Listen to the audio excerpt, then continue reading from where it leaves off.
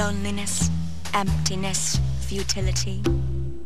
Travel tips for the wild. Number one, remember to bring a compass Hold on a second. The island we're on doesn't even exist. that works.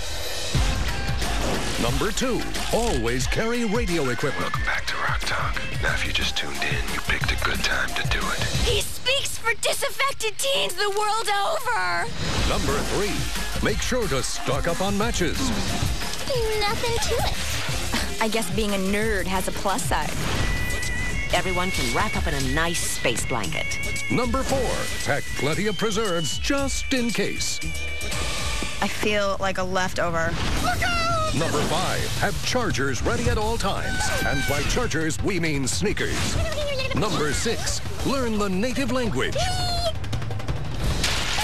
Or sign language.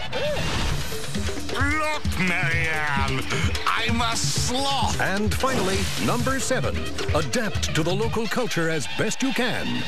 Look how slowly I move. ah. Staycations are good too. Brightlings. Brightlings say over.